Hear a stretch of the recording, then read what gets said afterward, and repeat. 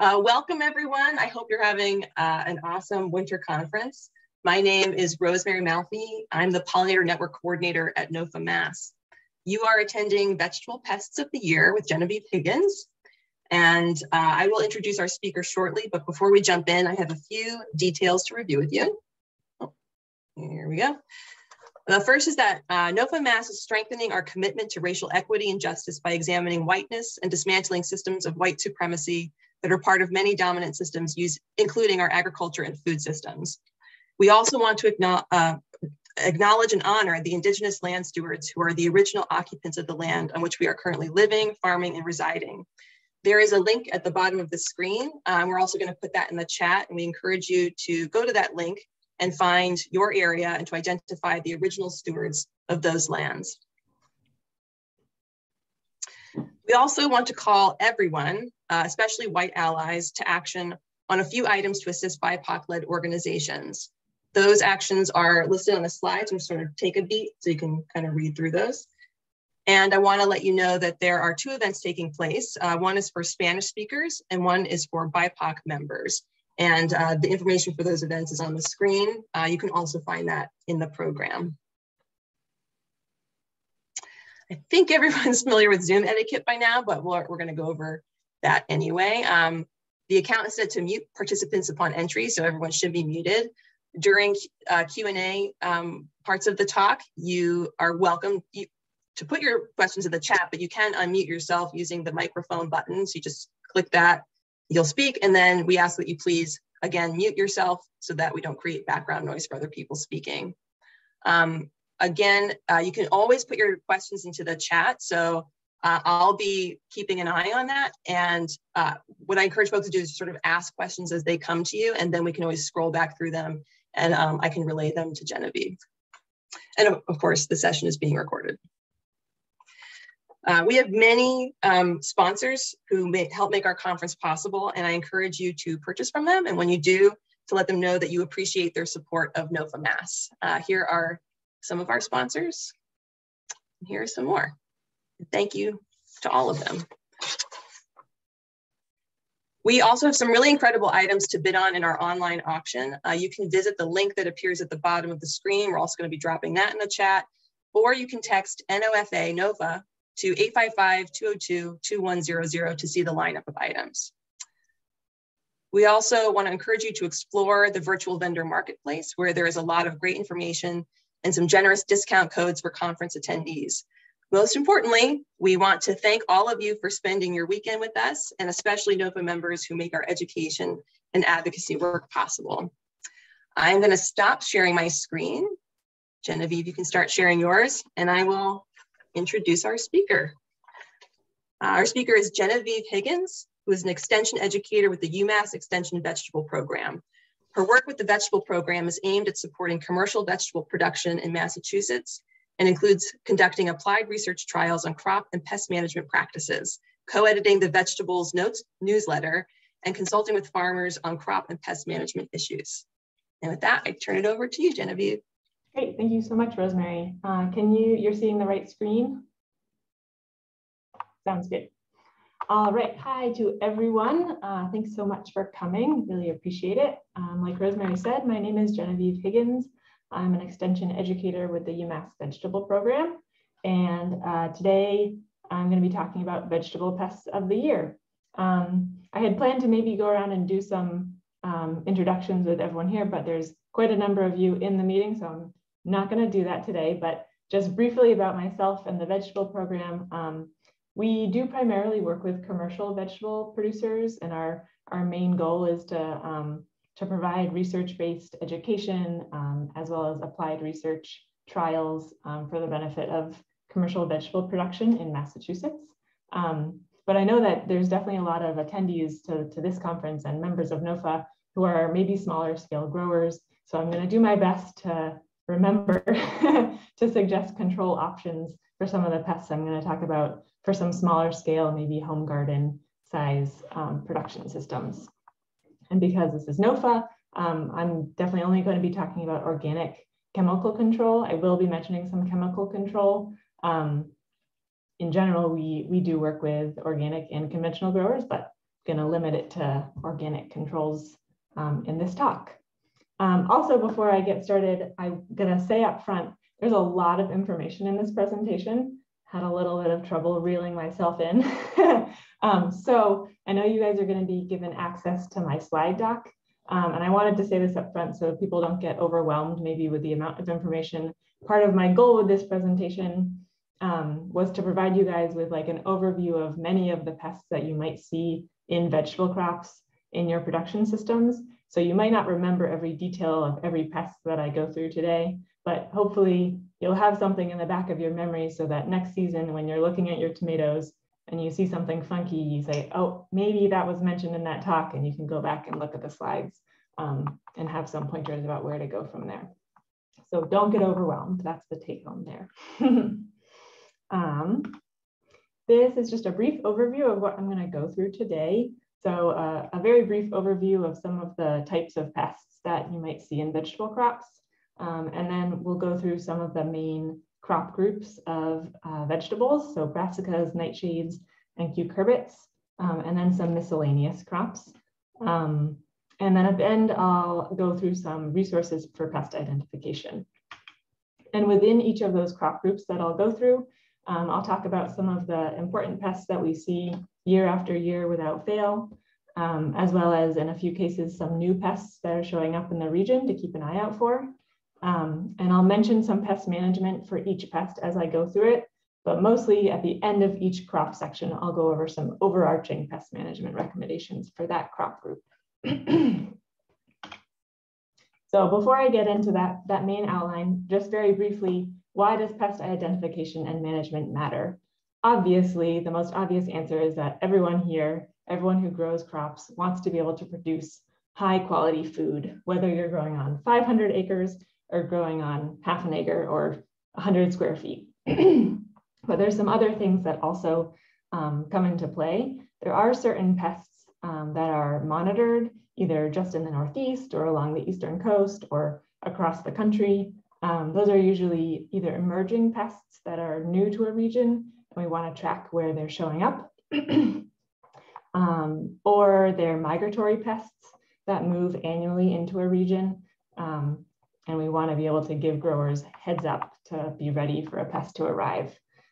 There's also this concept of community-wide pest management, where for certain pests, um, if all vegetable growers, from large-scale commercial growers to home gardeners, can successfully um, control a pest, then they uh, then the, that disease pressure or insect pressure will be lower for everyone. So this kind of community approach um, to controlling pests can be uplifting and encouraging.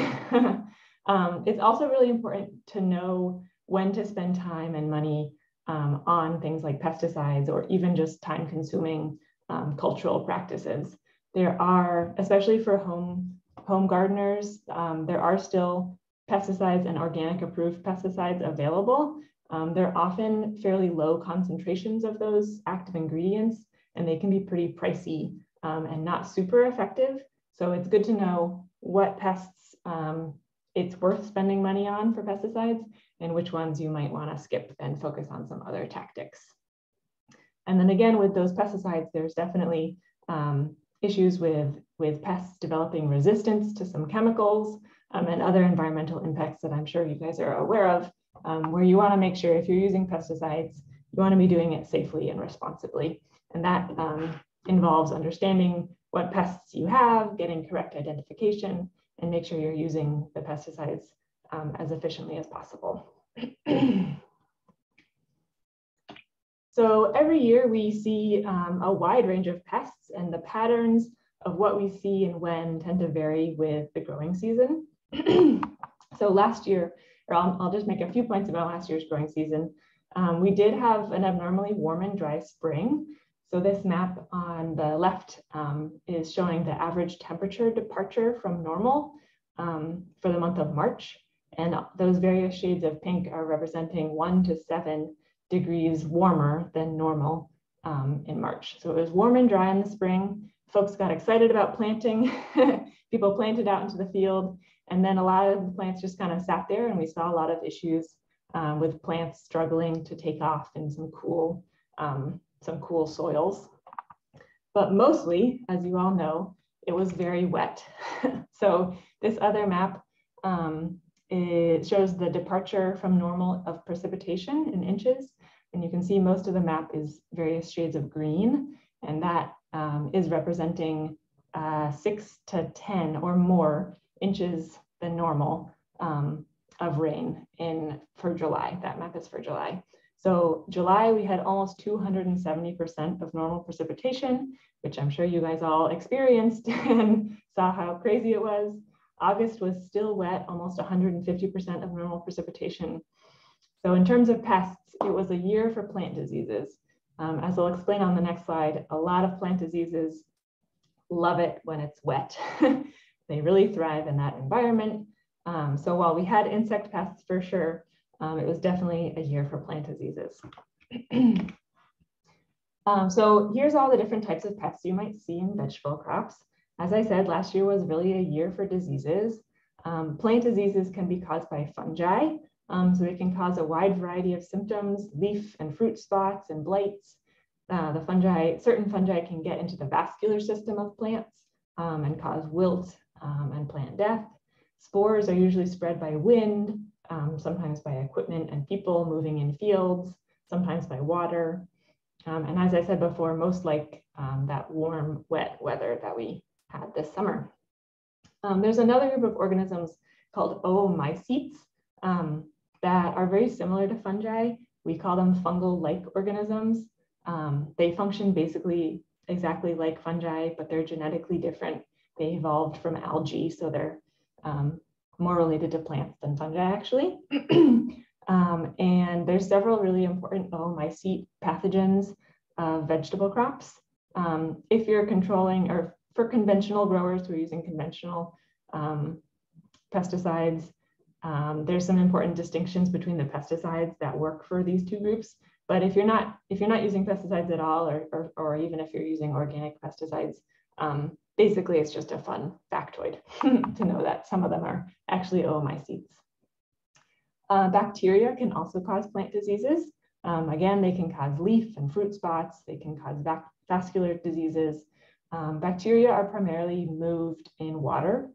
Um, and again, they like that warm, wet weather.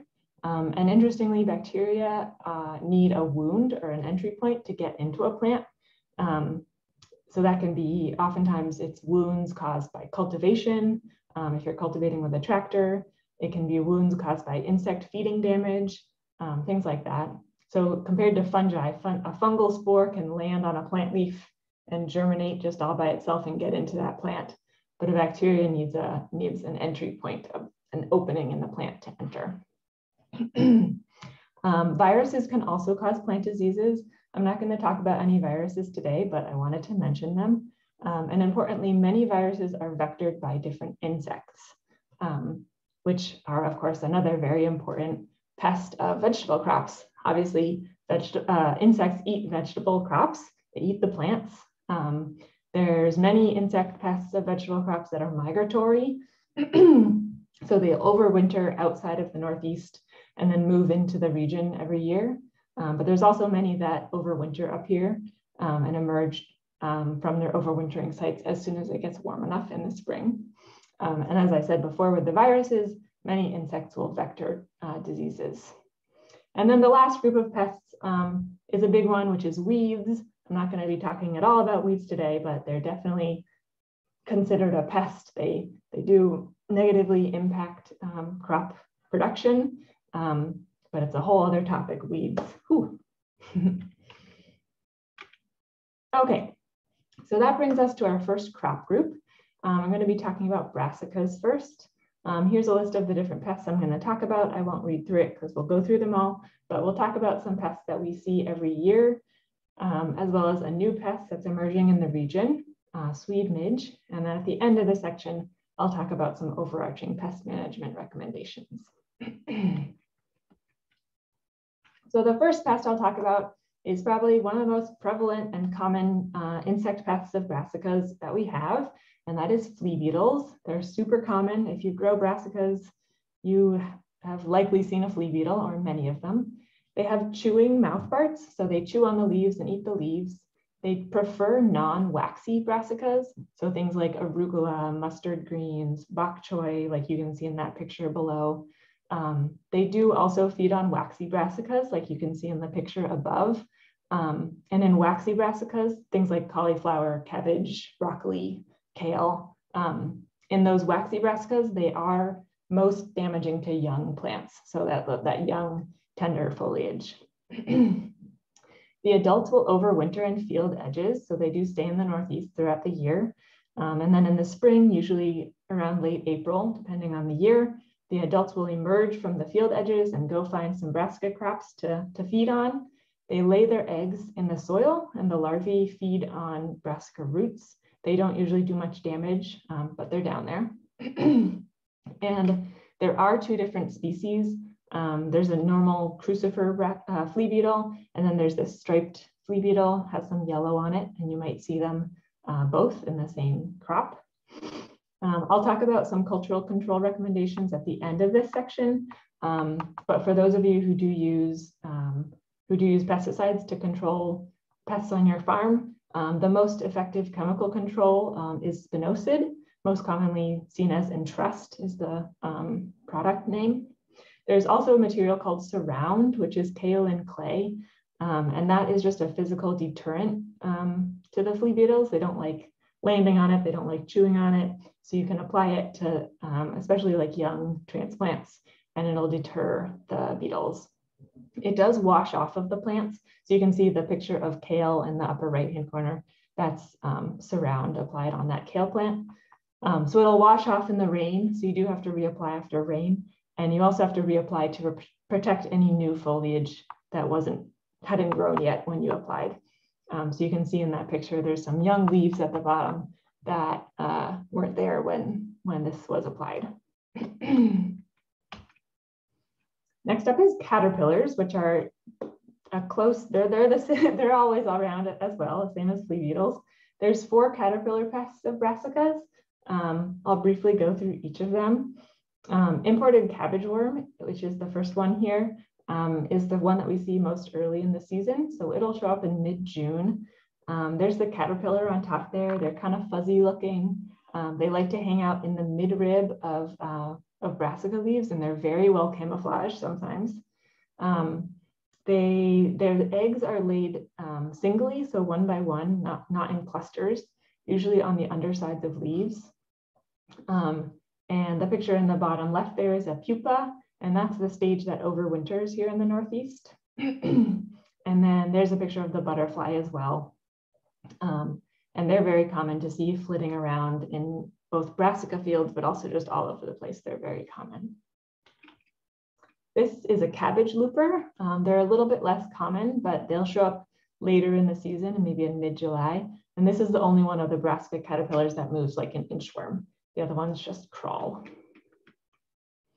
This guy is diamondback moth, um, and there's a few notable things to help distinguish this guy. Um, the caterpillars, uh, when they feed, they usually are on the undersides of the leaves and they don't eat all the way through the top layer of the leaf. So they leave behind this transparent film um, or layer of, of leaf tissue. We call that window pane damage. You can see that in the picture on the top there. Uh, the caterpillars also have a little forked tail. So if you look at their tail end, they have two little protrusions.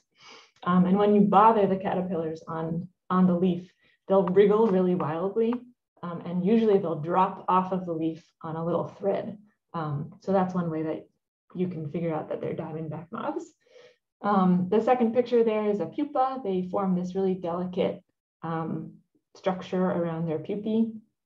And then at the bottom is a moth. The moths fly at night, so they're not seen that often and they're pretty small, um, but sometimes you'll see them hanging out on the leaves. And then lastly is the cross-striped cabbage worm.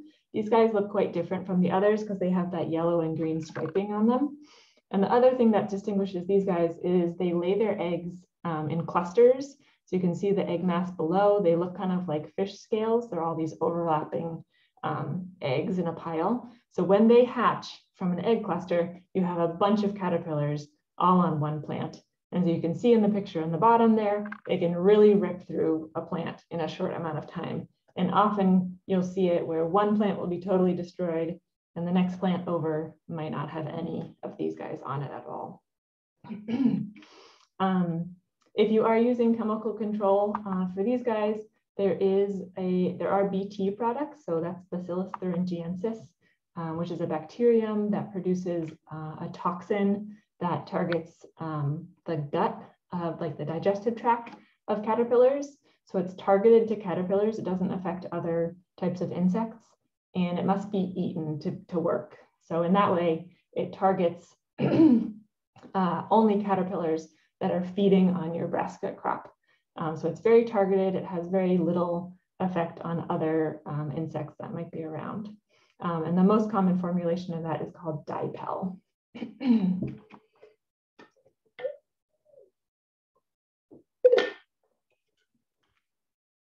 okay, um, I think this is the last brassica insect pest I'll talk about, and that is cabbage aphids. Um, so cabbage aphids, they can cause this uh, leaf yellowing and distortion, but mostly the issue with cabbage aphids is their physical presence. Um, they form these really big colonies, um, and if it's on the part of your crop that you're trying to sell uh, or eat yourself, um, it's gross. Um, they're the worst on waxy, long season brassicas. Um, so especially things like Brussels sprouts that are in the ground for a really long time. Um, and in Brussels sprouts, they tend to get into the buds um, and it's just gross. Um, they will overwinter on your crop residues um, and on any brassica weeds that are around. Um, and then in the spring, they'll colonize new brassica crops. the colonies are primarily females and they mostly re reproduce asexually. So they just pop out clones of themselves over and over really fast. um, and when that colony gets too big, when they outgrow the leaf, um, then winged aphids will form. So there's a picture of a winged aphid down below. They look pretty similar to a fruit fly, about that same size. And they're, they don't really fly. They're not great at actually flying, but they kind of get blown in the wind um, and find new brassica crops to colonize. Um, they usually show up in crops in the early summer, usually in pretty low levels, um, and often they go undetected unless you're really checking for them intentionally um, until the later summer um, when the populations have exploded, um, and often it's quite difficult to control them at that point.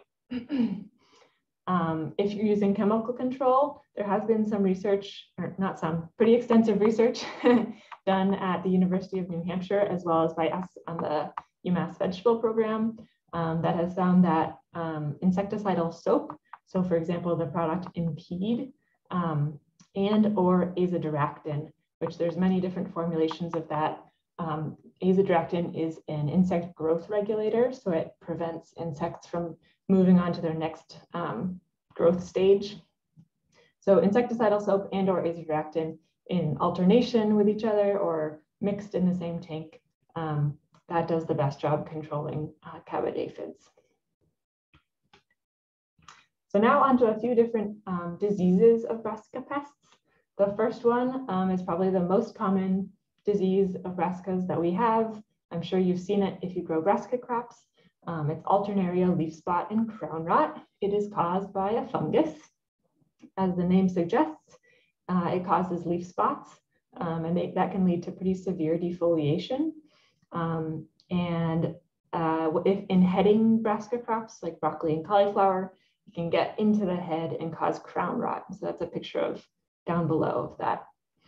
Um, notably, uh, there's, there's lots of different species of alternaria, the fungus that causes this one. Um, and different species infect different, um, different crops. So there's an alternaria that infects tomatoes that we'll talk about in a second.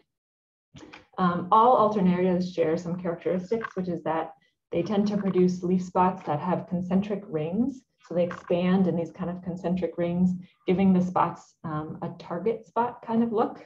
And often the center of that spot will fall out um, and that's what we call a shot hole appearance. looks like the leaf has been shot with a bullet. and you can see that in that photo that just popped up there. Um, alternaria will overwinter again in your crop residue. Um, and then in the spring, it's splashed into new plants with, uh, with rain. And then during the season, it spreads around with splashing water, by wind, by people and equipment moving through fields, um, and also by flea beetles. The spores kind of get tangled up in the flea beetles and they move them around. Um, and the spores can also be carried on seed.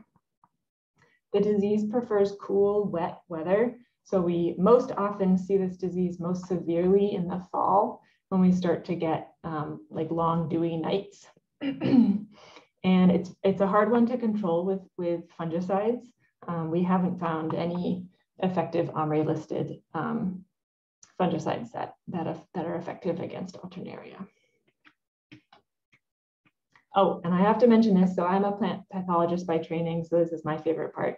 But if you look at one of these um, spots under the microscope, this is what you'll see. This is the leaf surface with little spores standing upright. You can see that the spores um, are dark colored, which protects them from UV radiation. And they have these long tails.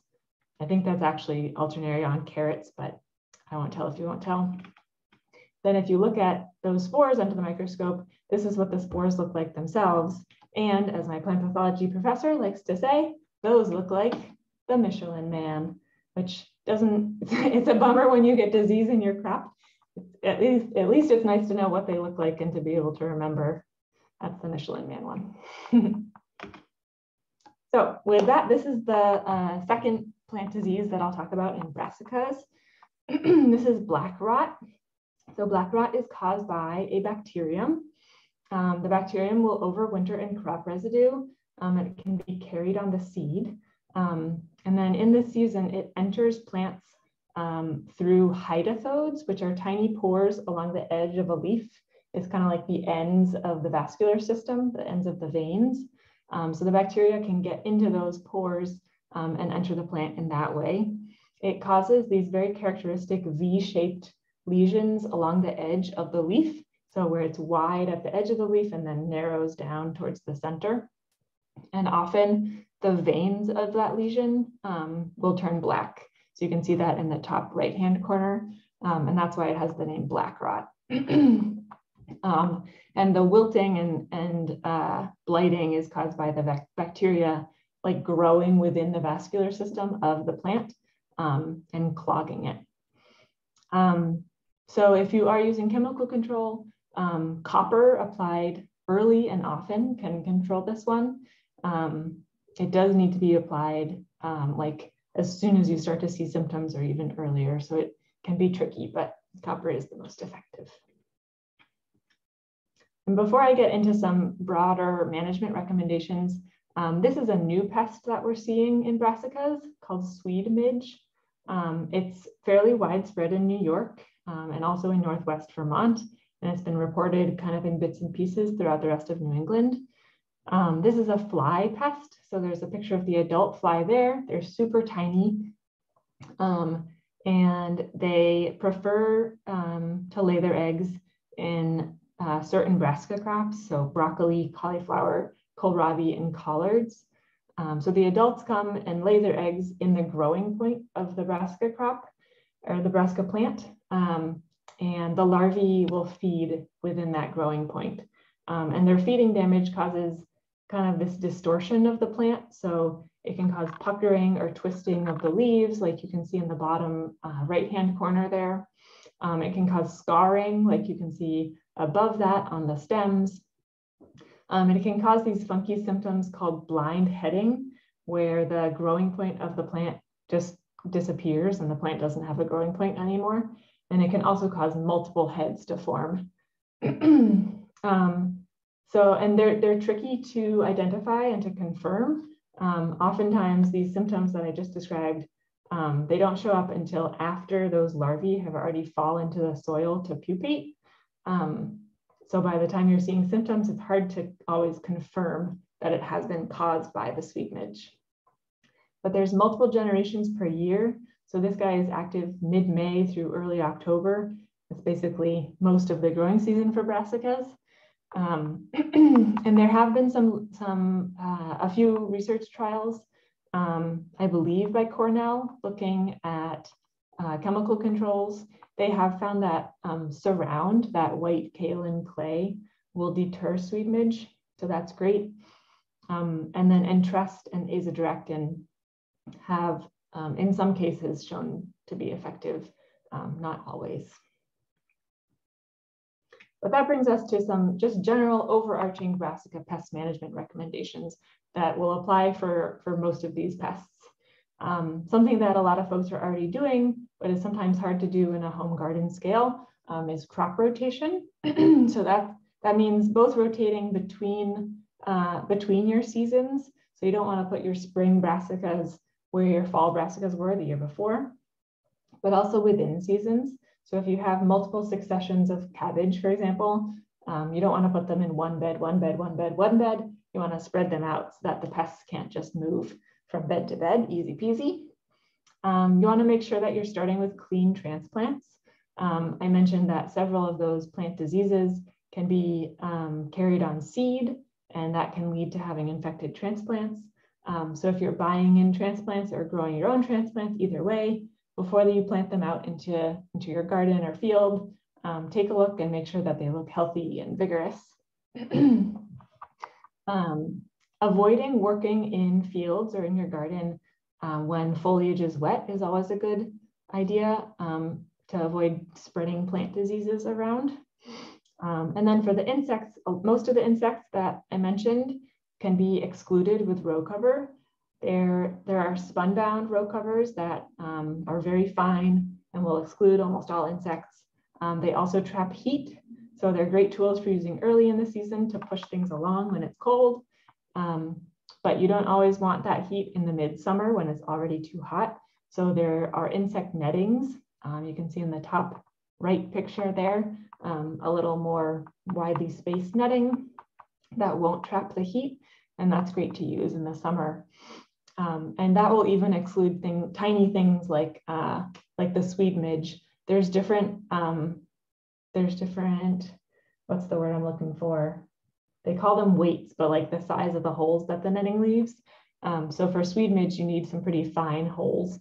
Um, I think that it's 25 weight, 25 gram weight that they recommend there, um, but there's many options out there. It's also really important to destroy your crop residues promptly at the end of the season.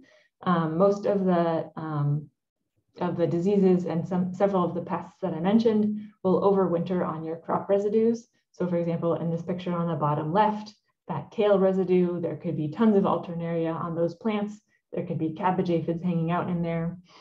Um, so best case scenario is to mow that residue and bury it um, on even on commercial scales or larger scales, um, in the late fall, it can be hard to till things under in time. So mowing is better than nothing. Um, and then if you're on like a garden size scale, um, removing that residue just from the garden um, and getting it into like a proper composting system that's going to get warm enough or just getting it out of your garden um, can only help. and then a few notes about chemical controls um, overall. Um, organic chemical controls for all crops, but true also for brassicas, um, are most effective if they're applied early and often. Um, so that involves scouting your crops regularly to take note of what um, pests are showing up when so that you can be ready to apply an appropriate um, pesticide um, early on to catch it. and then specifically with brassicas, um, brassicas have really waxy leaves. So when you spray liquid on them, the liquid tends to bead up and roll off. Um, but there are materials called spreader stickers um, that are often recommended on product labels, and they help the water droplets or liquid droplets um, flatten out on the leaf and then also stick to the surface um, so they don't, so you're not losing all the material that you just sprayed. Um, so we always recommend using a spreader sticker on brassicas um, unless it's recommended otherwise by the label. so that's the end of the brassica section. Maybe Rosemary, if there's um, any easy questions, not easy questions, but questions ready to go in the chat. Quick um, questions. Maybe one. Uh, yep, there's one from, uh, I know Barth, you asked a couple, and I will get to those a little bit later on. They're, they're a bit more um, general. One, there are two quick ones. One is um, about neem oil. Has anyone used that against alternaria? So is that a possibility? Neem oil is a product that is uh, mostly an insecticide. And I mentioned the product azadirachtin several times. Azadirachtin is uh, uh, not extracted, what's the word? Um, like purified from neem oil. So one of the, there's two kind of ways that neem oil works. Um, one is that there is azadirachtin within neem oil naturally. So it has some insect growth regulator properties to it. Um, and then because it's an oil, it will smother the insects. Um, so insects breathe, uh, get like have gas exchange through little holes in their exoskeleton. And if you smother those holes with oil, they die. Um, so that's a, a secondary mode of action of neem oil, but mostly effective as an insecticide. And it can be great for, um, for things like cabbage aphids as well. And then there was also a question, can covering your beds with a tarp kill some of these pests or diseases in the same way it would kill weeds? That's a great question. Um, my guess is that yes, that would they that would have some effect on them. I don't know details though. I don't want to. I would don't want to promise that yes, if you tarp, you'll kill all of your cabbage aphids. I would have to look into that more specifically, pest by pest. Um, but definitely, if whoever asked that, if they want more info on that, they can definitely reach out um, afterwards. Cool. And keep on putting questions in. Um, I'm going to go on to uh, no nightshades now. Um, but all crops keep on putting questions in. And even if we don't have time to get to all of them at the end, I'm happy to, um, in whatever way I can, answer any questions. Thank you. Cool. okay, so next up is nightshades.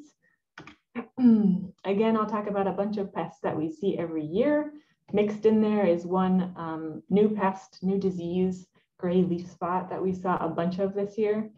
Um, and then again, at the end, I'll talk about some overarching pest management recommendations. Um, okay, so there, I'm going to start off with some fungal leaf spots. Um, these are all going to be in tomato, um, but we see these every year. So the first one is early blight, um, importantly different from late blight. Um, but early blight is caused by alternaria as, as well. It's a different species than the alternaria that affects brassicas. Um, so as I said before, there's kind of an alternaria for everything, um, but it uh, behaves pretty similarly to the one on brassicas. So it causes those leaf spots that have the, the target spot appearance, those concentric rings, and the spores look the same, that Michelin man spore. Um, and early blight usually starts in the lower leaves of the plant and then moves upward as the season progresses that's a very common pattern that we see. It's a similar pattern that we see with Septoria leaf spot, which is this next one. Um, and they can look very similar. And we often see Septoria and early blight on the same plant in the same field. Um, it's very common. Septoria leaf spot um, produces spots that are much smaller. So often there'll be a bunch of tiny spots on one leaf that all kind of coalesce into a, into a brown, crunchy, blighted leaf. Um, and then if on a good day, if you look at one of those small leaf spots, you can often see tiny little black pinpricks within that spot. And those are the fungal fruiting body structures that are producing the spores for that fungus, which is a fun little fact. Um, but septoria will also start in the lower leaves and move upward as the season progresses. So it's very common um, to see tomato plants where the lower leaves are yellow with spots um, and eventually they fall off. And usually that is caused by e and either or uh, early blight or septoria. Um, leaf mold is the next one here. This one we most commonly see in high tunnels. I'm not sure how many folks on are growing in high tunnels, but if you do, you have probably seen this disease. It causes these yellow blotches on the tops of the leaves. And then under, underneath on the underside, um, it, it causes or it produces this kind of gray olive green sporulation. It's very fuzzy, it's very distinctive, so it's hard to miss. Um, but usually we only see that one in high tunnels. And lastly, this is the new one that we see, saw a bunch of last year. This is called gray leaf spot. It's caused by uh, several species of the fungus Stemphylium. Um, notably, it doesn't necessarily start in the lower leaves what we saw last year was that it would just kind of affect the plant top to bottom um, at the same time. It causes fairly irregular shaped um, brown spots on the leaves. Um, and sometimes they have this gray sporulation within that spot. Um, I didn't have a great picture of that to include, um, but that's what gives it the name gray leaf spot. And our theory with this is that it's probably been around at low levels um, for the last several years or many years. It's very common in the southern US um, where it's a bit warmer. and then with the rain this year, with, with such wet weather, um, it just took off and was all over the place. Um, yeah, surprisingly. Um, and importantly, um, for especially for early blight and leaf mold, there are great resistant varieties against these leaf spot diseases. And that is often the best way to control them most effectively, especially on small scales um, where you can't get in there or don't want to get in there to spray um, fungicides. Um, and they work really well. I have a picture um, on the management slide of an example of how well resistant varieties work. So it's a good thing to pay attention to, to ask your seed reps about. Um, in most seed catalogs online, there's ways of filtering for different disease resistance. So you should be able to look at all the tomatoes and then filter so that you're only seeing ones that are resistant to early blight, for example. Um, and it's a great technique to um, maybe not grow only resistant varieties, but to include one um, or two in your mix so that you can maybe have some of the more interesting heirloom varieties that you or maybe your customers want to see earlier in the season, but you know you have some resistant varieties that will persist throughout the season um, so that you can have some fruit later in the season as well.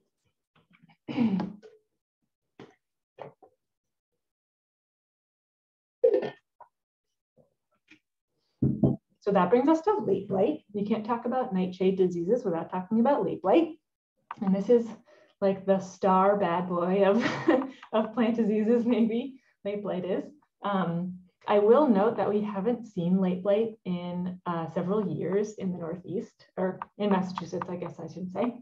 Um, we had the last like really bad outbreak that we had was in 2014, and the last reported occurrence at all um, was in 2017 in Massachusetts. So there, we do have a monitoring network for late blight throughout the Northeast. Um, and for several years, it was real bad. We were seeing a lot of late blight every year. So this is a map.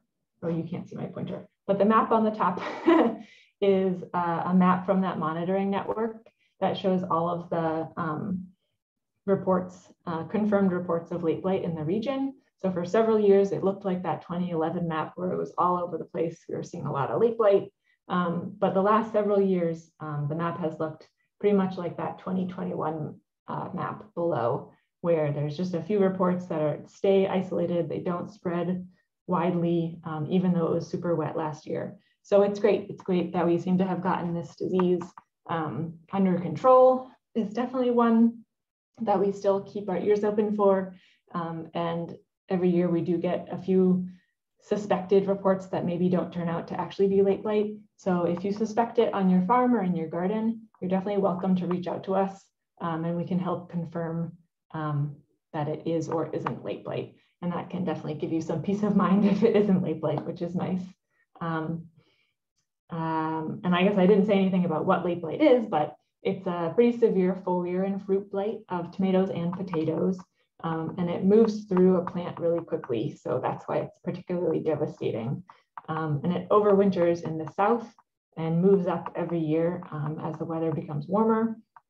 The spores are spread on wind, but another really important means of transport for late blight um, is transplants. So often it's on transplants that are produced by some of the larger distributors. They move up from the south, and then if there's infected transplants, they get kind of spread out into home gardens and farms. And it is a very effective way, very effective way for the disease to, to get spread around. So it's good to keep an eye out, especially if you're buying transplants. Make sure you're checking them out and, make, and, and they don't have any symptoms on them. There are some resistant varieties um, for late blight, which is also a nice um, management tool there. Switching gears to a bacterium for a moment. Um, this is another disease that can be quite devastating in tomatoes, uh, bacterial canker. Um, the bacteria can be carried on seed, um, and then that seed can also produce, again, infected transplants, um, which can spread the, the disease around. Um, if the disease starts uh, from seed in your plants, it can cause some pretty nasty cankering on the stems, um, like in the bottom right-hand corner there. Um, the plants will be wilted and just kind of generally fail to thrive. It can cause uh, fruit spots. You can see a picture down there on the bottom left. Um, and then once there's an infected plant, it can spread from there um, through water or people moving through the crop, um, especially if you're pruning in a high tunnel, it can spread on pruning equipment. and uh, a plant that becomes secondarily infected, so um, not from the seed, but just from the bacteria moving around, they often develop this marginal leaf burn. So it just looks like the edge of the leaf has gotten scorched. That's a common symptom. Um, another important source of bacteria can be tomato stakes, the poles that folks use to, um, to trellis tomatoes. Um, so if, if you have an infested crop, the bacteria can get onto those stakes and then overwinter on the stakes. And if you reuse them the next year, you can infect your crop again. So if you do have an outbreak, um, and for example, you reach out to Extension and we confirm that it's bacterial canker, um, a lot of the control recommendations that we'll make have to do with sanitation. So getting rid of those stakes and getting new ones or finding some way to sanitize them if possible, um, getting rid of as much crop residue as possible, or really mowing it and getting it tilled under, um, things like that can, can help control this disease. Um, and then if you do catch it early enough and you are using pesticides, copper is the most effective material again. Um, but again, it can be a tricky one to control um, even with copper. You have to catch it very early. um, this is another disease. We're swinging back to a fungus. Um, this is verticillium wilt. We see this most commonly in eggplant, and it's very common. Um, verticillium is a fungus that uh, lives in the soil. Um, and when a susceptible crop is planted into that soil, the fungus will invade the roots and invade the vascular system of the plant. So it causes a wilt. Um, oftentimes it will first just cause one side of the leaf to wilt. So you can see in the picture on the left, um, one side of that leaf is really wilted and the other one is mostly fine uh, still. Um, but other times it causes more just of a, a, a, general wilt or like this funny mottling appearance to the leaves. That's also pretty common. Um, but it causes wilt um, and it can significantly reduce yield um, in the crop. Um, there's no effective chemical control. It lives in the soil for a super long time, so it's it's hard to avoid. Um, and there's no truly resistant varieties, but there are varieties um, that will continue to produce good yields even if the plants become infected. Um, so there's a few varieties listed there. To be fully honest, I'm not sure that that list is totally up to date and all of those varieties still exist. So take it with a grain of salt. Um, but it's a good thing to pay attention to on your farm or in your garden.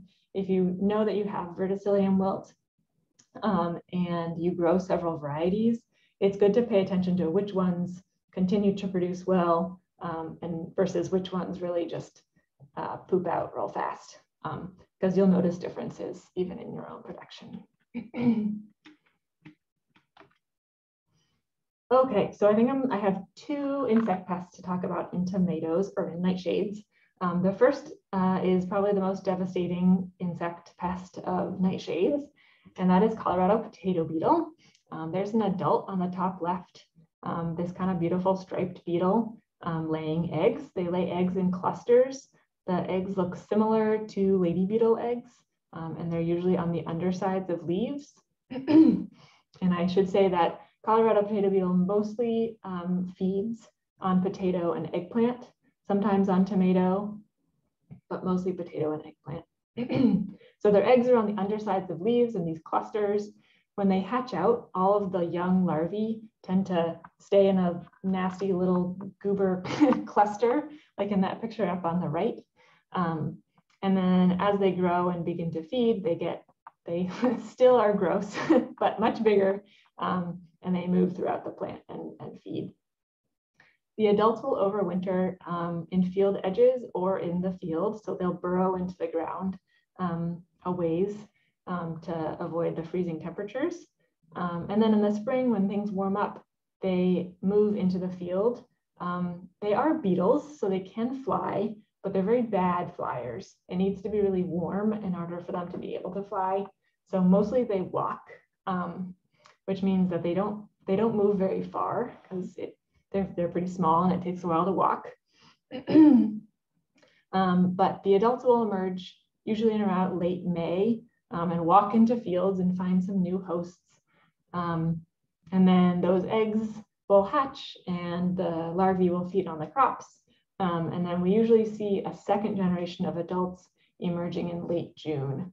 Um, and that will result in another flush of eggs and larvae. Um, there are several cultural control techniques that can um, pretty effectively control Colorado potato beetle. Um, because the beetles are such poor flyers and because they don't move very far, crop rotation can be very effective, especially if you're in an isolated area so that you can rotate away from other people's uh, potatoes and eggplant also. Can be a bummer if you rotate, rotate your crop far away from where you had eggplant and potatoes, but you move to where your neighbor had eggplant and potatoes the year before. That can be a bummer because then you get their Colorado potato beetle. Um, on small scale production, um, it's, it's often most effective to just hand squish these guys. Um, it can be a little gross, so a good alternative is with a, a, bucket of soapy water, just knocking them into the bucket. Um, and it's usually easiest to get the adults um, and the eggs and when the larvae are really small because they're in that cluster. Um, if you get it on early enough, row cover can definitely exclude these guys. So like as soon as you plant your eggplant, um, as soon as you have your potatoes planted, getting row cover on. One note of caution with that is that if you are, for example, in your home garden and you can't rotate because it's too small, um, you want to be, make sure that you're not covering um, plants that are planted where there might be Colorado potato beetle overwintering um, because those beetles will emerge from the soil underneath your row cover and will be happy as clams in that nice warm environment, feasting on your uh, plants um, happily. um, so that's something to be careful of. Um, but there's also been shown, uh, it's been shown to be effective um, to use some physical barriers to keep the adults from finding your crops. So things like um, mulching with straw around plants um, the adults just kind of get caught up in the straw and can't get into your plant. Um, and then digging trenches around your crop uh, with the idea that the beetles kind of fall in and can't get out very well. Um, that's another thing that has been recommended. Um, and then for folks who um, are maybe on a larger scale and don't want to spend the time um, hand, hand picking or hand squishing, um, we did hear some growers this past year who were experimenting with just attaching a bar to the back of a tractor and, and going through the field and just knocking the larvae off of the plants. Um, and they can't really crawl that well um, on the ground. So once they're knocked off of the plants, um, they just kind of stayed there. Um, so that's an interesting tactic as well. I'll say, a few more notes about chemical control for this one than for the others um, because it can be tricky with uh, CPB. because the beetles don't move very far, um, the CPB that you have um, on your farm or in your garden are they're yours. They're yours forever and always. Um, so if you're using pesticides, you're treating that same population kind of over and over again. So uh, resistance to insecticides can develop pretty quickly. Um, so there's some, some rules and tactics around um, applications that can help with that. Um, you do want to target the smallest larvae, um, so like in that picture on top there. Um, and that's because the most effective material um, is entrust, which is the spinosad material that has to be eaten in order to be effective. and so the amount of, of uh, entrust and leaf material that a small little larva has to eat in order to be killed is much smaller than the amount that one of those big honkin larvae have to eat in order to be killed. And by the time one of those big guys eats enough uh, product to be killed, it will have still eaten a lot of your plant. So you want to target the small guys. Um, there are some limitations around the amount of spinosad that you can apply um, per season, per crop um, on your farm or in your, in your production system. Um, so there are some secondary materials that can be effective if you need more applications. So azadirachtin, that's that growth regulator, um, pyrethrin, which is most often known as pyganic. Um, it's a contact insecticide, so it will kill whatever it hits. Um, Beauveria bassiana is a biocontrol. It's a, it's a fungus. Um, and uh, those are good options um, if you need something else as well. There was, uh, for anyone who, who was aware of this, there was a BT product called Trident that was labeled for Colorado potato beetle. It was OMRI approved. It had formulation issues. So it was like gloopy in the bottle. Um, and so they took it off the market, but we're hoping that it's going to be back soon because it is great to have another tool in the toolkit for sure. Okay. Um, I believe this is the last pest I'll talk about with nightshades, and that's hornworms, which is often a, a, a big concern with smaller scale growers because you have relatively few plants and these guys can eat a lot of material. Um, so there's two species of hornworms. Um, there's a tobacco and a tomato hornworm. I think all of these pictures I have up are of a tobacco hornworm, actually, which is, I don't think I've ever actually seen a tomato hornworm. Um, the tobacco hornworms have a red spike and tomato hornworms have a dark blue spike on their tail, or I guess I should call it a horn because that's what their name is. Um, they're often hard to see in your crop and often the first thing that you'll see is their poop or their frass. Um, they make a lot of it and it's big. So often you'll see that and then you'll kind of go, follow upward and see this caterpillar hanging out on top. Um, the adults are these really beautiful moths, actually, these very large moths called hawk moths. Um, but the caterpillars are really pests and they eat a lot of foliage. They can eat fruit as well, take big bites out of them. Um, chemical control is not usually warranted for these guys. There's usually relatively few of them in a crop doing the damage. So if you can find them and physically get them out of there or maybe ugh, cut them in half with scissors, gross, but effective. Um, that is usually the most effective way to deal with them. Um, something great um, that I wanna mention is that you may have seen this in your crops.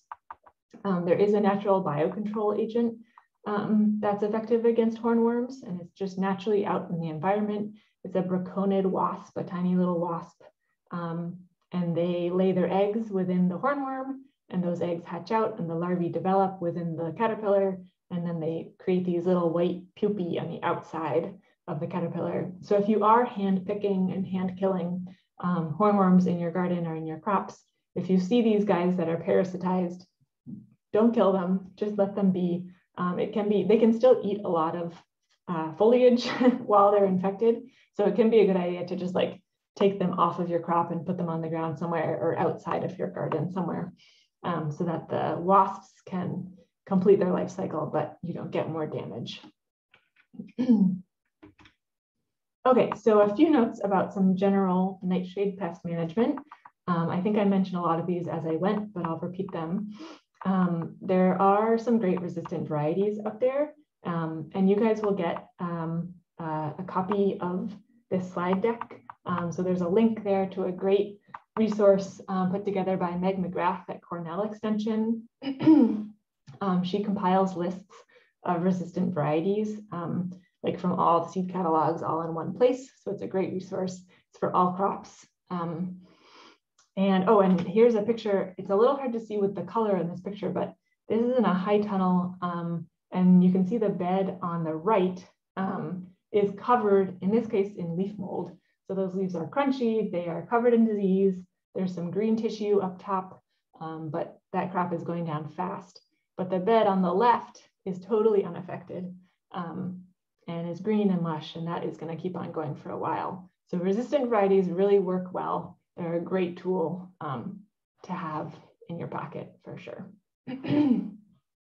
um, as with all crops, crop rotation is important. So getting an area out of um, the nightshade family or whatever crop family uh, for two to three years if possible is great. Um, again, avoiding um, working in your fields or, or tunnels when foliage is wet to prevent spreading some of those foliar diseases. Um, as I said, for Colorado potato beetle, um, using row cover um, on young plants is pretty effective um, and hand squishing, uh, both Colorado potato beetle and the hornworms is a good, is a good tactic. So maybe if there's if there's a faster question or a briefer question about tomato pests, we can do some of those. Yes, um, I think there was a previous question from um, that came right at the end of the uh, brassica portion of the talk, and that was are pre-emergent soil drenches effective for these pests? And I think that may have referred to brassica pests, but brassica pests. So let me think about brassica pests, flea beetles, caterpillars.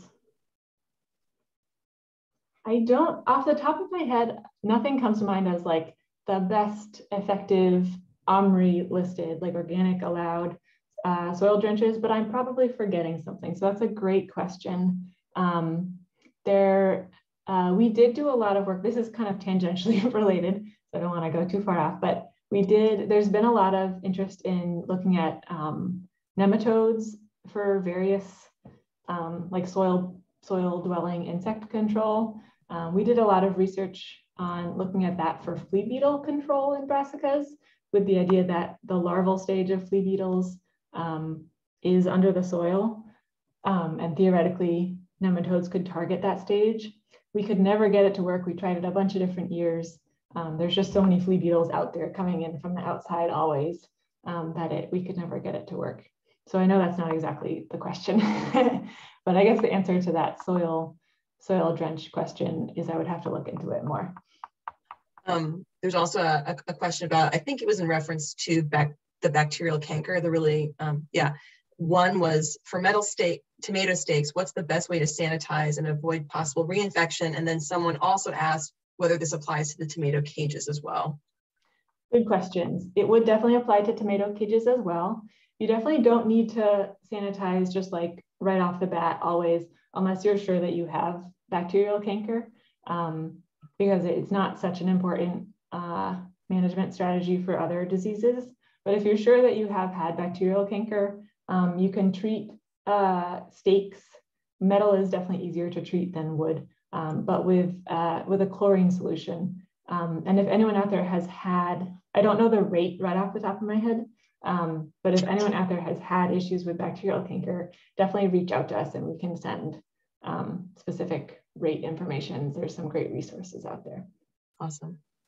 Um, and one uh, one more um, is, and uh, I've had other, I've had someone else actually ask me this um, about other tomato diseases, but is it okay to compost nightshades that have um, signs of disease or can, do they need to be like removed and destroyed? That's a very good question. Um, and it's hard to have a definitive answer. My, my go-to answer is maybe if you have a compost pile that is truly composting, like it's getting warm enough um, and it's not just like a rotting pile, um, that is probably effective. Um, especially uh, the a lot of the diseases that I talked about with with uh, tomatoes. Um, mostly the main source of those diseases is like wind-borne spores from everywhere. Um, like even if you have no early blight in your soil at all, um, you're probably still going to get early blight because there's there's so many spores out in the environment. So if you have a composting pile that's truly composting and working well, I would say it's fine to put them in the compost. Um, if it's more of like a cull pile, it can be dangerous. Um, and you can be getting like tomato volunteer plants growing up out of there that are infected and can be not great. But that's yeah. a great question. Yeah. Um, just one more final, it's a tomato specific question. Oh, yeah. So um, and then there, I, I, know folks have asked a few others. I'm, I'm just going to save them until the end, uh, but I have, I promise you have seen them. Um, uh, there was one, I think from Chris, Christine uh, or Christy, to what extent do these previously only Southern diseases arrive in New England via tomato seedlings shipped to big box distributors? Do you know the answer to that? I don't know how often, I guess that's, um, yeah, that's hard to say how often, but it definitely happens. It was definitely a, several situations where that happened with late blight in years past, um, where it was like traced back in that way. Um, it's kind of the name of the game where these diseases do overwinter in the southern US, and a lot of them will move up naturally as the as the spring and summer warms in the northeast. Um, and so oftentimes they'll show up anyways, but they can be, yeah, like moved more quickly on transplants. Um, so there is definitely like a big responsibility for those producers and distributors, um, but it's also just good as as growers to be aware of that, so that when you're buying, just for like your own personal responsibility and success of your production, um, if you're buying transplants, look at them closely and, and make sure they're good quality. Um, and I'll say this at the end also, but um, a great way to avoid just being part of that whole like disease movement issue um, is to buy transplants local. There's so many great local farms that produce like great high quality transplants. Um, and there could be, you, you can have disease issues up here with, with, with transplants produced up here, but at least then you know you're not bringing in late blight from Florida um, on those plants. All right, we have several others, but I'm gonna, I'll save them for later. Sounds good. got a whole other crop group to go through, guys. These are great questions though. Okay, so the last full crop group that I'll talk about is cucurbits. so several, mostly diseases, but a few insect pests, um, and then some pest management. Let me just grab a drink real fast. Okay, so the first one I'll talk about is cucurbit downy mildew. Um, there's many downy mildews out there um, caused by different species. Um, all downy mildews uh, are host specific, it's called. So for example, cucurbit downy mildew only infects cucurbits. There is a basil downy mildew, there's a spinach downy mildew, there's a lettuce downy mildew, and all of those downy mildews only infect their crop that they're named for. They don't cross over. Um, but it can be confusing when everyone's talking about downy mildew all the time. they are all oomycete diseases, so that fungal-like organism. Um, and downy mildew causes leaf lesions on the leaves, um, and it can lead to some pretty severe defoliation. Um, the lesions uh, on the top of the leaf are yellow, and they're, they're notably angular shaped. They, um, they get trapped, the fungus or the, the oomycete gets trapped by the veins of the leaf. Um, so it ends up looking this like this angular pattern. Um, and then on the underside of the leaf, the pathogen produces like fuzzy uh, gray colored sporulation. Um, and that sporulation is only on the underside of the leaf. um, the disease has some pretty complex genetics. Um, and but uh, and so it infects different cucurbit crops diff uh, differently. There's different strains that infect different crops. But long story short, we see it earliest and most commonly in the Northeast on cucumber. So when you're keeping an eye out for this disease, watch your cucumbers. um, the, the symptoms can look slightly different on different crops. So the picture in, on the top right is on cucumber, um, and then down below is um, how it looks on butternut squash, a little more flat, a little more velvety. Um, and then the picture on the bottom left is a microscopy picture. Um, the, and that's the sporulation coming out of the bottom of the leaf. They look like these little trees covered in spores or little like grape clusters, um, which is interesting. Um, downy mildew is an obligate parasite, which means that the pathogen needs a living host in order to survive. So that is different from some of the other um, diseases that I've mentioned already, where they will overwinter on crop residue in the field. Downy mildew doesn't do that.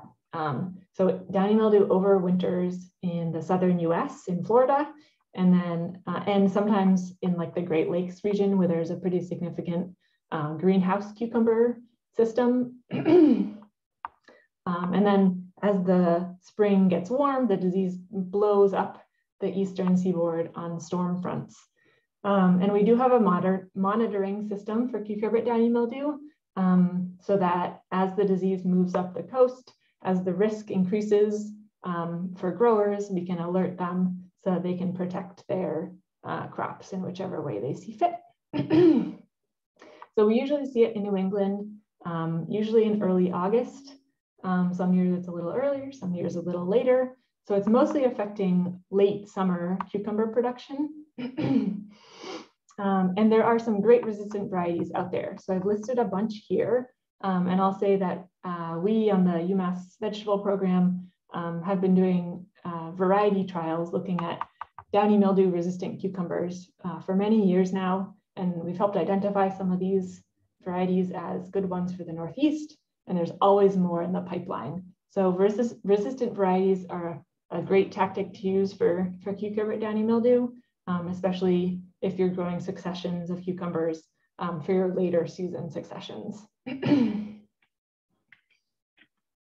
um, I will contrast that guy with powdery mildew, which is, I, I know it's confusing to have a downy mildew and a powdery mildew. It sounds exactly the same, but they're different diseases. powdery mildew is a true fungus, not an oomycete. Um, and it causes, again, these leaf spots that can lead to very severe defoliation. Here's a picture of some very advanced powdery mildew in cucumber where the leaves just turn to crisp. um, the, you can distinguish it from downy mildew um, because powdery mildew causes these powdery looking uh, fungal growths um, on the bottom and the tops of the leaves, whereas downy mildew, um, it's more gray colored and it's only on the bottom of the leaf. Um, and in addition to causing uh, the defoliation and the leaf spots um, in pumpkins, um, infection by powdery mildew can lead to poor handle development, which isn't great if you're growing jack-o'-lanterns, everyone wants their little stem. Um, but the spores are very easily windborne. Um, the fungus does require a living host to survive, and we're not sure how it arrives in the Northeast every season. Um, we're not sure the source of it, but it's super common. We usually see it show up in June or July, so before downy mildew. Um, and again, there's great resistant varieties for powdery mildew. Um, and a, a, good, a helpful note for that is when you're looking at varieties um, in the catalog or online, the, the acronym PMR stands for powdery mildew resistant, and that's often in variety names. Um, so usually it's included in the description as well, but it's a good thing to look out for if you're looking for, for powdery mildew resistance um, in cucumbers or winter squash or butternut, anything. so Phytophthora blight is another very devastating disease of cucurbit crops. Um, it causes a fruit rot and a crown rot. So it can cause fruit to rot, but it can also infect the roots and the base of the plant and kill the whole plant. It affects all cucurbits um, and it also infects peppers and tomato. So in peppers, it can cause a fruit and crown rot. And then in tomato, it causes something called buckeye rot, where it um, affects the fruit and makes them look this weird leathery appearance to them. um, it, uh, because it can rot the fruit and the crown, it can be very devastating to crops. Um, but it's also particularly devastating because in certain scenarios, it can produce a certain type of spore that survives in the soil for a super long time, like 10 years, more than 10 years, very long time. So if that happens, um, there's two different mating types of Phytophthora blight. Um, and if they're both present in the same field, then they produce these oospores, they're called. Um, and if that happens, uh, it sucks. Basically, you have a Phytophthora blight for a, a long time on your farm. So the best management tactic for Phytophthora blight is really to avoid introducing it onto your farm. Um, so that means if you're sharing equipment with another farm or garden and you know that they have Phytophthora blight, which they, they should know, they probably know if they do, um, making sure you're cleaning that equipment um, and not carrying any soil um, between locations. If you know that you have Phytophthora blight on your farm, um, taking care to get rid of um, fruit, infected fruit um, from that field so that it's not going to infest other fields and thinking about this pathogen is moved through water. So uh, thinking about where water is moving on your farm so that if you potentially have an infested field, um, water isn't going to move that pathogen um, to, un to clean fields, basically. Um, because once you get it, once it's established on your farm, there's, there's, uh, it's really hard to control even um, with pesticides. So it's a tricky one. So this is one if you're struggling with, I would definitely recommend reaching out to us because there can be some nuances to providing um, the best recommendations for this one. This is another disease that's not quite as devastating, but I wanted to mention it because we saw um, a lot of it this last year with the rainy season. This is Plectosporium blight. Um, it causes these white lesions, kind of long shapes um, on stems and petioles and on the fruit. It's very common on winter squash and zucchini, um, and it's kind of a classic fungus. It will live in the soil, it'll survive on your crop residue, it likes wet weather. Um, there aren't any effective OMRI listed chemical controls. Um, so mostly you have your crop rotation to manage this um, and avoiding uh, planting into wet spots where this disease might be thriving. All right, a few insect pests of cucurbits. Um, definitely the most prevalent one is striped cucumber beetle. There's a picture of the adults there on the right. Um, these guys will cause pretty significant direct feeding damage um, to all cucurbits. Um, they, uh, they eat a lot of plant material and can really take out especially small plants. But they will also uh, vector a bacterium um, that causes a disease called bacterial wilt. Um, and there is some variability in susceptibility of different cucurbits crops to bacterial wilt. Uh, so cucumbers, cantaloupes, summer squash, and zucchini are more susceptible to that bacterial wilt than other, than other cucurbits. Um, and I'll say a bit more about bacterial wilt on the next slide as well. Um, but the striped cucumber beetles overwinter in field edges. They overwinter up here in the Northeast, um, and they'll come out and invade your crops in June. Um, similarly to the flea beetles in brassicas, these guys lay their eggs at the soil line, and then the larvae feed on plant roots. Um, there's two generations of adults per year, but mostly once the adults have emerged in June, they're, they're out and about and doing damage all season long. Um, and if you are using chemical controls, uh, these guys are tricky to control with chemical controls because they fly really well. so if you're going through with a sprayer, they tend to anticipate you and just fly away before you can hit them. Uh, but pyrethrin, uh, which is the contact insecticide, most commonly known as PyGanic, um, is usually the most effective. And then again, that kaolin clay material will effectively deter these guys, especially from young transplants um, that are easy to treat with that clay. So a few more things about bacterial wilt. Most of this I already said, um, but there's a picture of the wilt on the top there. Um, the whole plant just kind of whoop collapses. Um, and the important thing I'll say here is that there is no specific uh, control for bacterial wilt. Um, so to control bacterial, bacterial wilt, you have to control striped cucumber beetles. Um, there's nothing you can do specifically to get rid of the wilt um, or prevent the wilt except for making sure that the beetles aren't in your crop. there is another insect pest of cucurbits that can cause a very similar um, wilt uh, damage, um, and that is squash vine borer. So it's good if you're seeing symptoms like this to look for squash vine borer as well. This is squash vine borer. Um, it's a patchy pest. So some people have it and some people don't. Um, there can be like one farm that or garden that, that really struggles with squash vine borer and then a neighbor that has never seen it in their, in their crops. Um, but it is a moth. So the adult is a moth. There's a picture up there in the top right corner. It's a, it's a funky looking moth. Um, it doesn't look like your average moth. It's a type called a clear wing moth. Um, it looks kind of more like a bee almost, uh, but they're moths. Um, and the adults lay eggs at the base of plants. So in the bottom right-hand picture there, that's a young cucurbit plant. And then there's a single egg within that, inside that red circle. Um, so they're very small and usually they're laid at the base of plants but sometimes further out, I've seen a moth laying an egg on a leaf one time, um, but mostly they're at the base of the plants.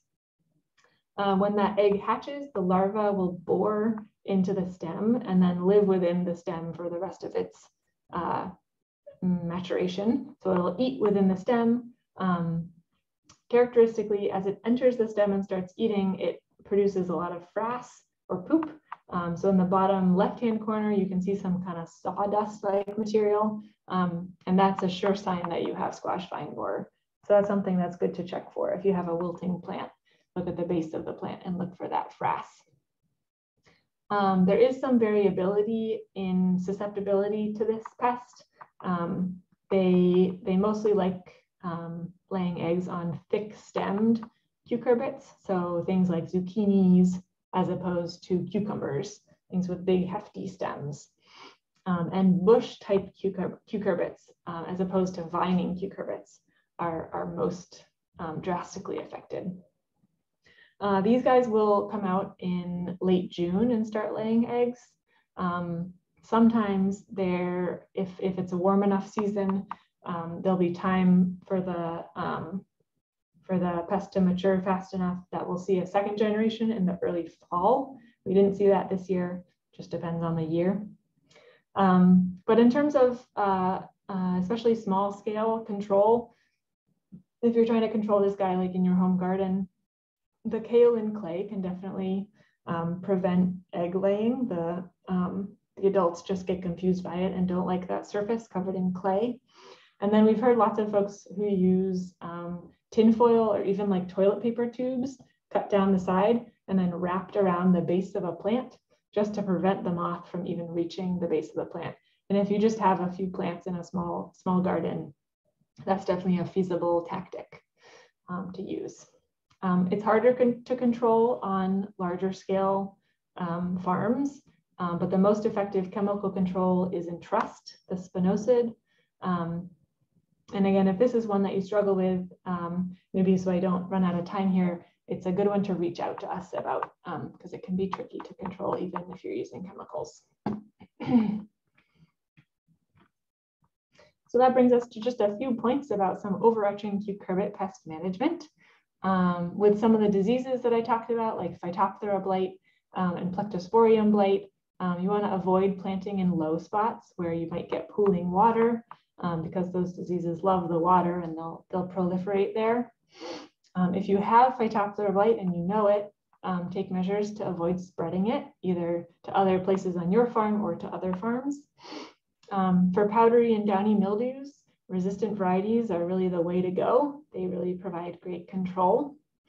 Um, and then for some of the insect pests or all of the insect pests I talked about, row cover can exclude those. Um, so that's a great tactic as well. Just remember to take off the row cover when your plants start flowering to allow for pollination. All right, so any questions about cucurbit pests that we can hit on right now? All right. Um, thank you for all of that information. Um, and as Genevieve mentioned, the slides will be available so you can review. Um, and in fact, we um, have already put them into a materials folder. Uh, and I dropped the link earlier and I'll, I'll drop it again so you can find the slides. Um, I'm sure there are some cucurbit specific, um, but I'm just gonna start reading the ones that came up earlier. So one is- um, Well, Rosemary, before we get too far into questions, there's oh, a few more things that I can go through. I don't know what makes most sense. Um, okay. Um, Daniel, I just want to make sure I don't miss a cucurbit specific one. Uh, okay, oh, someone asked, just recently heard of using yellow cup cups filled with soapy water as an effective trap for uh, cucumber beetles and other similar pests. Are you aware of this trap? There has been some research done um, looking at trapping for striped cucumber beetles using yeah traps that have soapy water. The work that that I've seen has included um, a lure for the for the beetles. So it's a lure that's produced. I'm not. I don't remember where it's produced, but I think it's a floral based lure. Like it has floral components in it, so it attracts the beetles, um, and then they're killed. It those traps are they haven't been perfected yet, so I wouldn't necessarily recommend them across the board. Um, it's been they're more effective when you're when you can use um, a conventional not organic approved um, uh, pesticide in the trap to kill them, to kill the beetles once they enter. Um, the soapy water isn't always super effective, but we've had some issues also like getting a lot of bees in the traps and beneficial insects. So it's a tricky one. Um, it's it's worth trying, especially on a on a small scale if if you have the time to experiment with stuff for sure. Um, but it definitely like as a general recommendation needs some fine tuning, I would say. Um, thank you. And uh, there are a, couple questions about temperature. So one is, do below freezing temperatures in winter kill any of the mildews or blights in the soil? And that might uh, be broadly applied to cucurbits, but the other vegetables you mentioned too. Yeah, so in some cases, yes. Specifically for cucurbits, um, the, the downy mildew can't overwinter up here. Um, it, it can't survive in the soil. It can't um, survive without a living cucurbit host. Um, so unless you have like a heated greenhouse with cucumbers in it, um, which sometimes is the case, like in the Great Lakes regions, they have some, some large production areas like that. Um, the pathogen can't overwinter up here, but it depends on the pathogen. Um, so um, things like in tomatoes, those most of those um, foliar diseases of tomatoes will overwinter in the soil on crop residue and they don't mind being frozen. They're happy as clams. The spores are pretty resistant um, and they can survive, unfortunately. Excellent. Okay. I'll let you continue, and then we'll come back to the others. Sounds good. Okay, so there's just a few more pests that I wanted to include in here. Um, this is our miscellaneous section. Um, one emerging pest that's on alliums, a few more downy mildews. You're going to get tired of me talking about downy mildews, but I'll try to be brief there. Um, and then a fun one to end on. So this is allium leaf miner. This is a new pest in the region, um, and it's definitely one that we're interested in tracking. Um, it hasn't been reported yet in all in, in every county in Massachusetts, but we suspect that it's probably out there. Um, so it's a good one to keep your eyes out for and let us know if you see it. um, this, it affects all allium crops, but is often the most noticeable in fall leeks. Um, the pest is a fly, so the adult just looks like a housefly. Um, and the adult will uh, feed on the foliage and then lay the eggs in the foliage. So in that picture on the top uh, with the hand um, are a bunch of little marks all in a row. Those are feeding and, and egg laying marks. Um, and when the eggs within those spots hatch, the larvae will tunnel down into the onion bulb or into the scallion or, or leek or whatever crop it is. Um, and the larva will feed in there. And the feeding damage um, is obviously damaging, but also those wounds um, allow our entry points for potentially for bacterial diseases to get into your, into your allium crops. Um, so the, the larvae will feed in there and then either pupate within the crop um, or leave and pupate in the soil. Um, but often you might not notice this pest until you're like cooking your leeks because they can often be deep within the, the leek or the onion um, because each leaf of an allium crop corresponds to one layer of that leek or onion or whatever.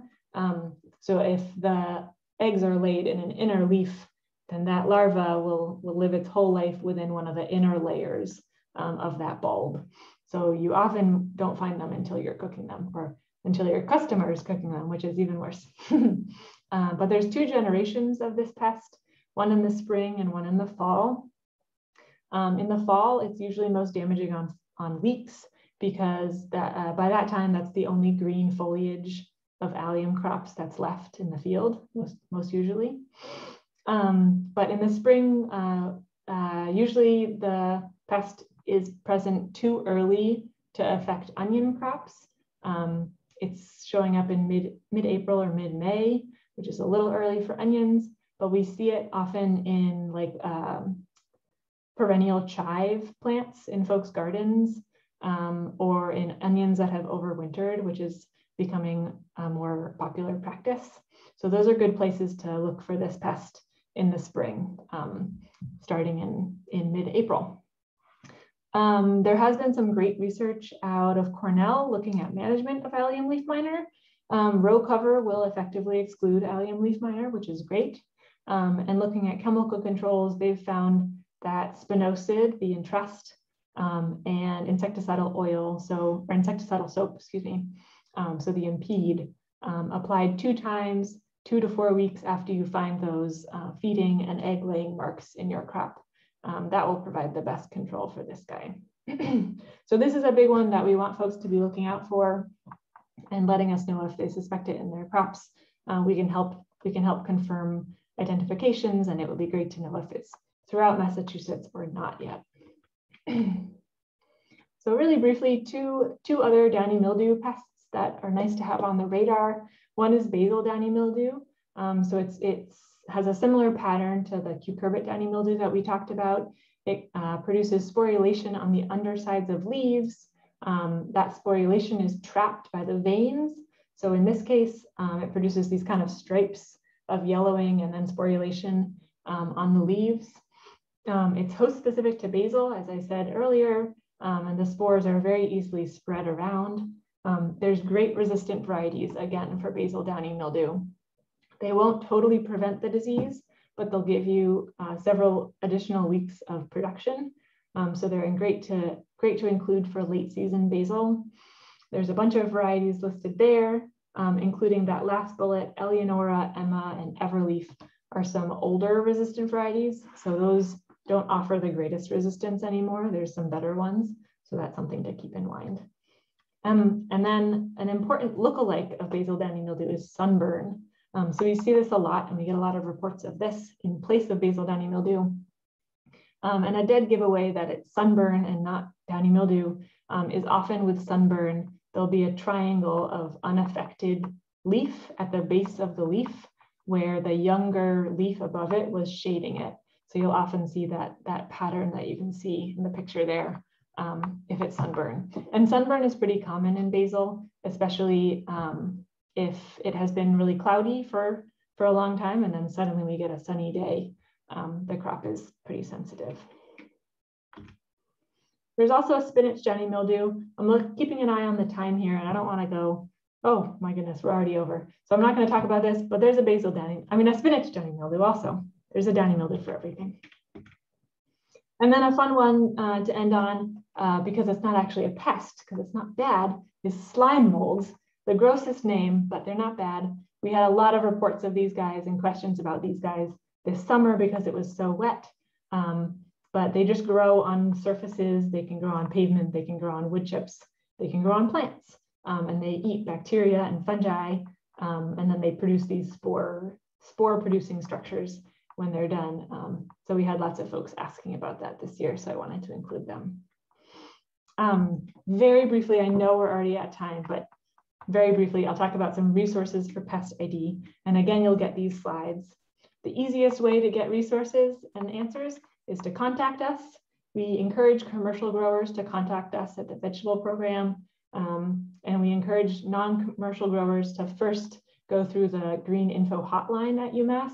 Um, they're often better equipped to answer some small scale questions, but you're always welcome. Anyone is always welcome to reach out to the vegetable program as well. We have a great plant diagnostic lab at UMass. I won't talk through this, but there's um, a link here to their website where they have great information. Angie Madeiras is our vegetable um, plant pathologist, and she does a great job um, diagnosing plant diseases. And then we have several resource guides available for free. The links are there. There's a vegetable pest ID guide with pictures, as well as um, a, a, very in-depth production guide, um, the New England Vegetable Management Guide that has fertility recommendations, variety recommendations, production recommendations, disease and insect control. It's, it covers everything. So it's great and it's available for free online. We all, just going on and on here, rapid fire. We, I just want to um, interject for one minute. We we do have to vacate this Zoom room um, in by yeah shortly um, just for the next session. So um, and then I want to just fit in a, a, few questions. Is that okay? Yeah, yeah. Let's let's jump to questions because you guys will have these slides, so you'll be able to see any resources that you're interested in. Thank you so much for this presentation. This was uh, just a, an amazing amount of information, and I'm actually looking forward to going. I'm actually looking forward to going back through it, listening to the talk again, because um, uh, yeah. Anyway, there's some things of particular interest to me. But I uh, to get to a few questions before we have to leave the room. Um, well, first of all, if, if folks need to go, please feel free um, to leave. Uh, obviously, this will be recorded and you can revisit. Um, in the chat, I also put an evaluation link. We'd love to get your feedback. There's also a link to the auction, um, uh, the marketplace, and the workshop resources folder. So thank you, everyone. Um, a couple of questions. Um, one is, is compost tea effective against any of the diseases and pests covered?